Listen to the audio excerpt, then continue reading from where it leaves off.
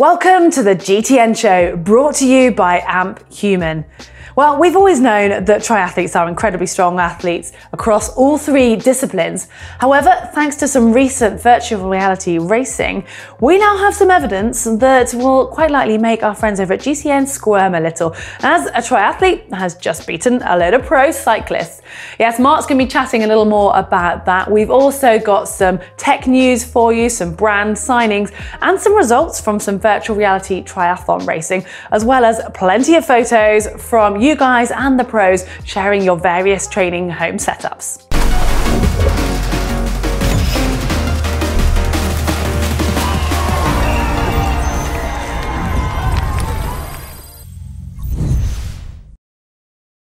Well, hello, time for me to step in and update you on some of the action from the weekend. And Lionel Sanders has really given us something to talk about here today because we all know him for his indoor training and doing countless hours on Zwift. Well, that seems to have all paid off. On the weekend, on Sunday, he was invited to compete for the e-racing team Canyon ZCC in the Ronde van Zwift against some of the biggest names in cycling, including also our GCN presenters Si Richardson and Conor Dunne. Now, this took place on Zwift over the UCI World Championship course, the Richmond course, with that infamous cobbled hill climb.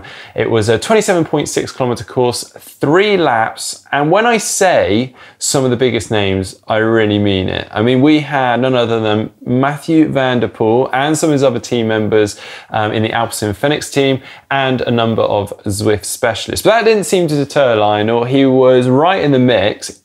In fact, in the last half or maybe in the last third, he was the one that actually initiated a breakaway. Two others joined him initially, a fourth came with them soon after. And then Lionel then went on to break away from that breakaway group. He managed to open up around 20 seconds on the main group and in doing so laid down a five minute power of 534 watts. He said that's his all time best for five minutes. It looked like he was going to comfortably have it at one point. Obviously, he was still having to work hard for it, but Samuel Brandland came in with an almighty attack in the closing stages and very close to catching Lionel, but it was Lionel that took the win. Samuel Brandland took second and actually Matthew van der Poel finished outside the top 10.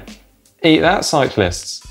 And I'm not finished there because Lionel has provided us with more entertainment and more to talk about, but this time between himself and pro triathlete Sam Long for a Strava KOM at Mount Lemmon in Tucson, Arizona. Now, Lionel has long been heading to Tucson, Arizona for stints of training, and more latterly, he's been going for months prior to the race season to get himself fit and ready. And each time he's there, it seems that he gives it a crack at Mount Lemmon, which is a pretty punchy climb. It's around 45 kilometers long. This year, though, on March the 17th, he went after the current KOM, which was held by Phil Gaimon, the former pro cyclist, and he beat it by two minutes. That was for the Mount Lemmon official KOM. He then continued on for the slightly longer one and also beat that by two minutes, taking also from Phil Gaimon. But then step in Sam Long. Now, straight off the back almost of doing a 250 kilometer ride, he gave it a crack himself. And I've got his stats here. Now, he did this on March the 24th. He pushed 403 watts. He is slightly heavier than Lionel Sanders and stopped the clock in one hours and 16 minutes and 48 seconds, which puts him around 30 seconds behind Sanders.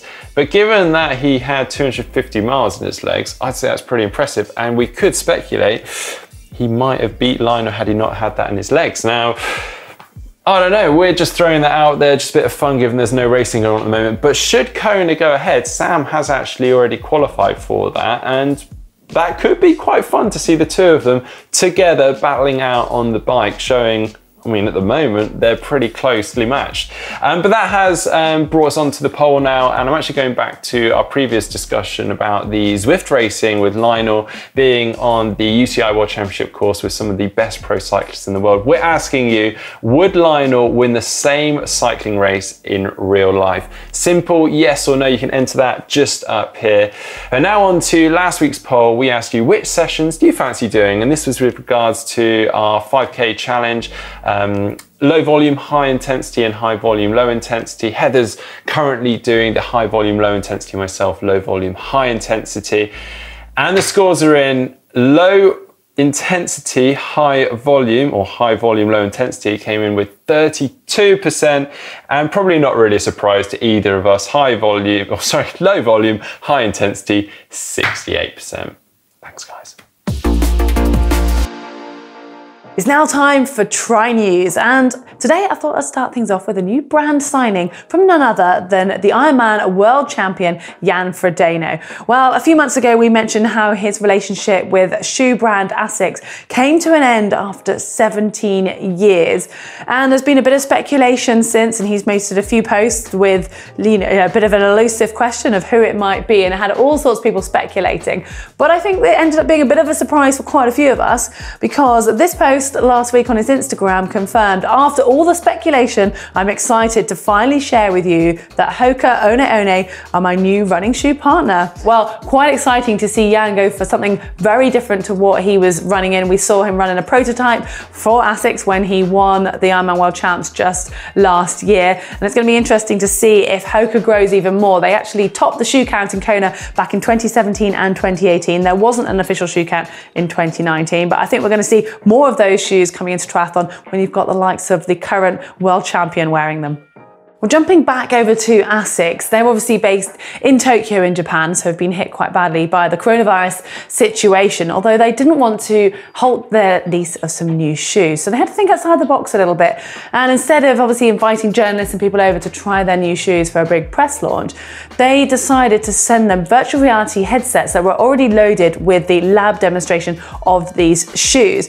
And apparently, you got this headset, you just had to charge it up, and then you were in this virtual reality room room where you'll be able to look around at the shoes. Obviously, you're not going to be able to touch them or actually put them on your feet, but to make it even more real, they got the journalists or the people who receive these headsets to actually take part in some of the action. So they launched three new shoes. It's the Meta Racer, the Meta Sprint, and the Meta Rise. It's great to see ASICS actually thinking outside the box and being innovative with still being able to launch their shoe and get people involved, even if it is a slightly different way and you still don't get to sort of physically see or feel the shoe. It gives you as much of an idea, I guess, as is possible in this situation. I don't think it's any surprise to anyone that we're seeing more and more triathlon events being postponed, being cancelled, and that date actually going further and further into the future. Well, World Triathlon have actually extended their period for suspension of events up until the 30th of June, and that's going to include having to move the ITU World Series that was going to be held in Yokohama in the middle of May. And I'm sure we're going to see more dates actually being changed as a result of the coronavirus. However, on the flip side, there is some actual race news that's happening at the moment. We talked a couple of weeks ago about the new launch from Ironman of their virtual reality racing and their virtual reality club.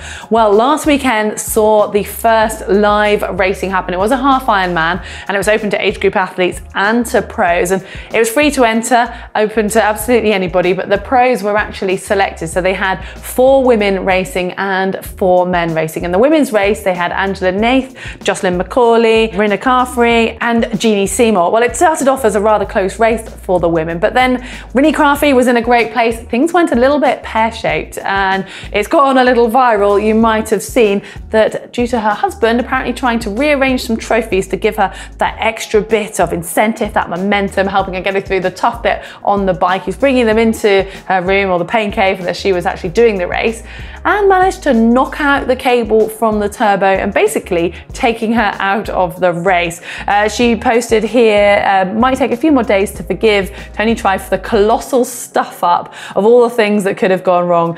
Uh, kicking the cord was definitely not on our radar. Regardless though, a really nice way to connect with the Ironman community. Well, it was Justin McCauley who ended up winning. Angela Naeth was in second, two minutes behind, and then Jeannie Seymour third, with Mirinda Carfrae as an unofficial fourth. And the men's race was won by Patrick Lange Back on top of the podium, you could say he had over a four minute win over Justin Metzler in second, Bradley Weiss in third, and Joe Gambles in fourth. And the results for the age group athletes are also up online. You had until the end of the weekend to upload your results, and it didn't have to be in that particular order. You just had to cover each of those distances. And if you missed last weekend, there is a chance to race again this Easter weekend, so you've got plenty of time to get it done. And it is uh, based on the 5150 format, so basically Olympic distance. It's got a 3k run, a 40k bike, and a 10k run. So maybe a bit more manageable for you to sign up and have a go. Well, now time for some tech news, and I've got some exciting tech releases for you. Starting here with one that's released at the end of last week from Zipp. It's their new Zipp Vuka Shift AXS 90. It's a set of aero bar extensions, but in all honesty, a lot more than just a set of aero bar extensions because they not only include the shifters in there, but some electronics and the brain. So should you have SRAM AXS eTap on your bike, both front and rear mech, and these aero bars, that is essentially all you'll need. Those aero bars will be able to operate that front and rear mech. No need for cables, no need for a blip box. So anyone that has a TT bike and has ever had to route cables through them will know just how much of a godsend this product could possibly be. Now the extensions themselves are actually the Pro Proven Vuka Evo extensions. They've got a 90 mil rise in them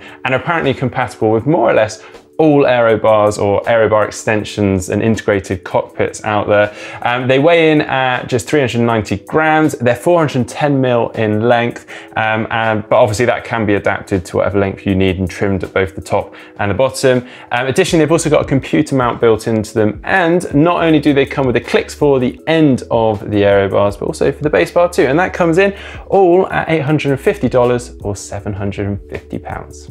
And SRAM have been busy. They've just announced their new shift buttons, the multi-clicks that can control their wireless eTap systems. Now, these are a little bit similar to the blips in that they can be placed anywhere on the handlebars, both road bars or TT bars, and basically give you endless positions for shifting from. Um, a little bit like the blips, they do need to be plugged in on the handlebar regions that can either be into the brake levers, into the blip box, or into the aero bars I just discussed. Um, unlike the blips though, the idea with these, they've got a slightly different design to them. The blips, they go under the handlebar tape. The clicks or the multi-clicks, the idea here is that they protrude out so you'd actually wrap the bar tape around them. So I guess just suiting different people's needs and preferences. Now these come in at $120 or 115 pounds. And I'm not finished there yet on the releases because I have this here. As you can see there, it is from Selle Italia. I am going to give you a quick glimpse, but only a quick glimpse because I'm going to be doing an unboxing on this very soon. But given that has just come out, I thought I'd run through a few features from it. And this is actually being designed in collaboration with Patrick Lange and the BMC Vifit Pro Triathlon team. It is the new Watt saddle from Selle Italia. We actually bumped into Patrick Lange when we were out in Lanzarote last year as he was out riding with the Selle Italia team, so we suspect he was probably testing the saddle and developing it at the time. I'll give you a couple of features on this, although obviously in more detail soon in the unboxing. It's get, got a longer saddle rail on it, 10 mil longer in fact, so it allow you just to um, a more variety of positions or to push the positions further forward or back. It's got a 50 mil nose, so they've widened the nose. Um, it's got a grippy material cover on it to stop you from slipping. Um, they've also changed the shape of it, so I believe so you can sit further back on it for optimum position. Um, and also it's got a rubber insert for when you're racking your bike in transition. Um, now it's also available in two versions. So you've got the Wattkit Carbonio Superflow. It's got a carbon rail that weighs just 200 grams, 239 pounds 90. And then we've also got the Watt Gel Superflow more or less the same design, titanium rail. It's got gel inside for added comfort, particularly towards the front. And that weighs in at 235 grams and that costs £159.90. Obviously there is so much more to tell you about with this saddle, we just have to wait for the proper unboxing.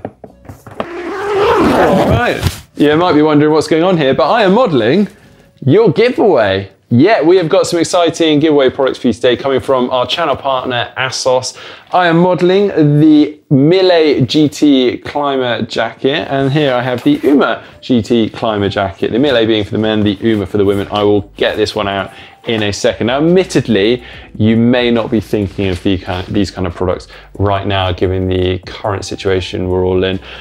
But once we ride this one out, once we're out the other side, which hopefully we all do and fairly soon, these going to be perfect, especially given the seasons that many of us are going into right now. Now, this jacket is kind of unusual, but maybe perfect because it sits somewhere between the rain jacket and the wind jacket, which I can definitely confirm it's kind of neither of those. It's a little bit too thick for a wind jacket and probably not quite thick enough for a full-blown rain jacket um, but definitely feels water resistant. It's actually a really clever construction. It's their new fabric, the Silver Haze. It's a two layer construction. It's made up of a mesh that's then bonded to a hydrophilic membrane. And within that membrane, it's also got reflective properties, which you can probably see from the light right now. I am lighting up like a Christmas tree almost. Um, in here, I'll pull out the women's one so I can display things a bit better for you. So it's uh, got a pink design on this one.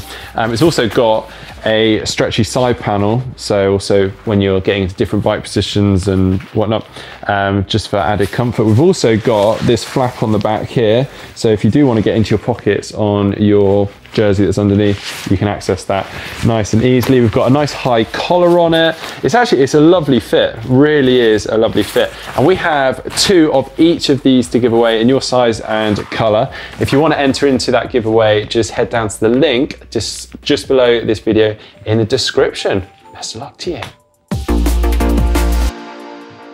Well, now time for me to take a look through all the photos that you have been sending in to us and you have not disappointed lately. Considering the times that we're all going through right now, you've been sending loads in. So thank you ever so much. Please keep them coming. This first one is from Jan and this is from Nord Norderstedt in Germany. It's actually of his friend's bike, not his own. Mario Zaka said he got inspired by all the new bikes online, didn't want to buy a new one, so he invested um, some time into making something for his bike. He's always in need of salt, so he made an aero lightweight storage system for that. And yeah, he really has. Out of carbon fiber as well. I, I imagine he's made that from scratch rather than nick something off a previous bike and cut a hole in it. So if you've made that from scratch, fair play to you. That is fantastic and nicely situated on the stem, so easy access, positioned behind the aero bar, aero bottle, so nice and aero. Good work. Next one from Craig Edinburgh said, things are getting desperate. Yes, they are, Craig. um, next one from Tony and from his basement. Nothing more than that, just his basement. Um, but thanks for sending it in. He said, forced to work from home means turning my pain cave into a work cave. Now I feel pain in a different way. Well, hopefully you're getting some work done and you're not just sat on your bike all day or you could try doing both at once, trying to be efficient with your time. It probably wouldn't be very efficient, um, but worth a go. Why not? Let us know how you get on with that, Tony. Uh, next one from Grayson, and this is from Houston, Texas, said, Quarantine Survival Guide, your bike, um, your turbo trainer, GTN live sessions, and a rooftop pain cave.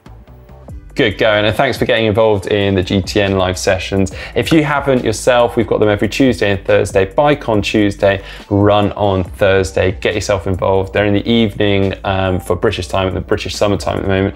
Um, so yeah, have a look on our social media and online and get involved. We'd love to have more of you along. Um, next one from Alex, and this is from Plymouth in the UK. He said his dog is finding it hard going with this lockup and does not understand why I spend so much time in the garage. Um, but yeah, that is a fantastic pain cave, by the way. I don't know if that's new or you're still working on it, but it looks brilliant. Um, I'm very, very envious. I wish I had that much space. Um, it looks like you can do so much in there. Um, but please do keep sending in all your photos and videos. Let us know what you're getting up to if you're having to improvise and do something wacky at the moment to try and keep yourself fit. Send them in using our photo uploader that is on screen right now. You'll find the link in the description below.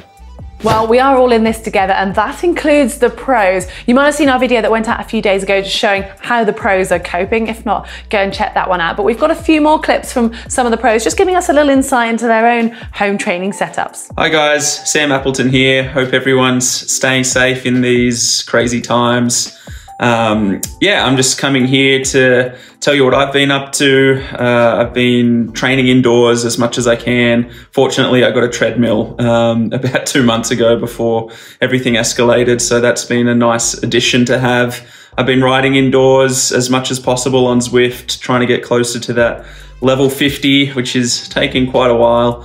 So now I typical day involves every morning I start with a good quality bike workout. I mix it between sessions written by my coach and then days I just go on Zwift and do some of the events and races just to keep things interesting and yeah, just to try new things. And then I also managed to get a very cheap treadmill, so I try and maintain some sort of running shape using that in the afternoon and some swimming bands. But now my main focus is on the bike. Uh, I accept that my triathlon overall fitness will deteriorate right now, but I can always get that back. Right now, I'm just focusing on what I can control and improving my bike. It's always been a weakness, so I'm using this time in quarantine to sort of really focusing on that. Yeah, we're trying to make the best of the situation. Of course, swimming is the biggest challenge. Um, I'm I am training on um, like an indoor swim machine and doing a lot of um, core training and athletics. yeah, sorry for interruption. Of course, skating would be a good way to replace swimming as well.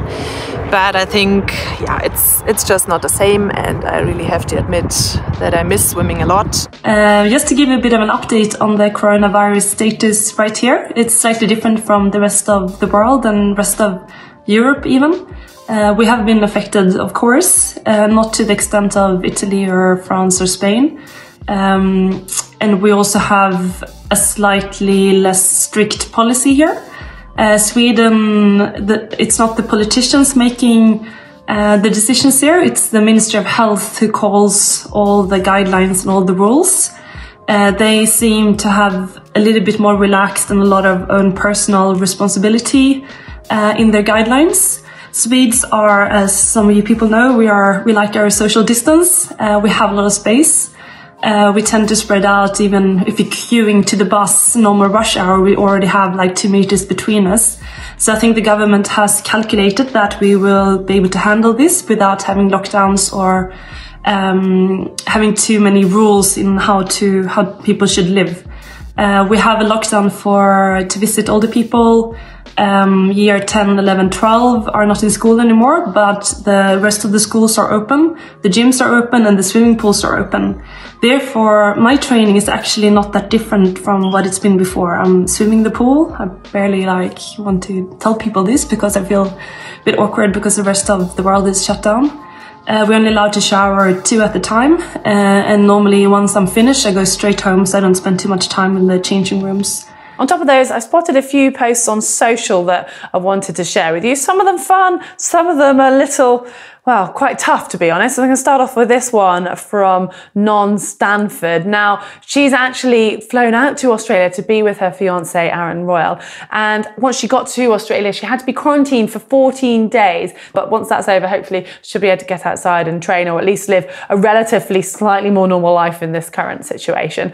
And other athletes who are having to adapt and maybe having a bit of fun with it. There's one post here which really caught my eye from Nikki Bartlett. I think this is brilliant. She, uh, um, is basically dressed up as a Spider-Man going to do some of her runs. And this isn't some kind of way of protecting herself from coronavirus of not touching gates because she's got gloves on. It's just to try and have a bit of fun and lighten the mood. And at the moment when she posted this in the UK, you were still allowed to go out and do your one portion of exercise a day. So she was sticking to the rules, but just trying to make people smile and make herself smile a bit. So I really like that. And then this one here from Imogen Simmons, who does a lot of her training in Thailand, has actually come back to Switzerland and she's been training in Lake Geneva and I cannot imagine how cold it is with the runoff from the mountains. She does say though that she has a very thick thermal wetsuit, a vest, gloves, the cap and booties and recommends not trying it unless you've got all the gear. But it just goes to show that every one of us is having finding ways to adapt and try and just keep our lives as normal as we can and also keep ourselves smiling. So it's great to see that everyone really using their imagination. Well, now time for the caption competition. Your chance to win a cap with the winning caption. Now, last week's photo was from Mooloolaba World Cup, and it seems like that's probably the last race for a while that we'll have caption comp photos coming from. Um, but we had some great captions coming in from this brilliant photo. Um, Yui Kretzka, Kretzmar said, everyone was kung fu fighting. Um, Ian Jones said, it's that way to the gym. Uh, DW Personal Training, aka a yeah. Anyway, um, I'm a little teapot, short and stout. Here's my handle. Um, Vincent Weeder said, break a leg. Um, and then Matthew Faith, you are the winner, or Matthew Fath, sorry, I should say. Come on, everyone, and do the new dance. It's called ITU.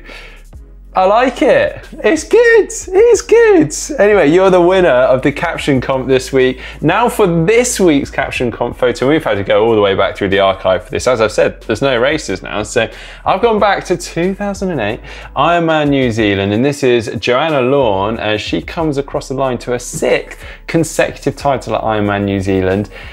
And you gotta admit, it does look like she might be getting strangled there and panicking. I'm sure she is just very excited, but Come on, you got to admit. Anyway, leave your captions in the comments section below this video. Um, but that is it for the show this week. Thanks ever so much for joining Heather and myself. We've got loads more coming up on the channel. We've got an update on our 5K challenge that hopefully some of you have got involved in too. That's coming up this weekend, along with are cushion shoes making you injured? A bit of an investigation into that. Also, don't forget that we've got our live workouts on the channel. Heather's is tomorrow, so make sure you get involved in that. We've got a run along with her. Then my next one will be on Tuesday on the bike. You can follow both of them on YouTube live. They're taking place in the evening British time.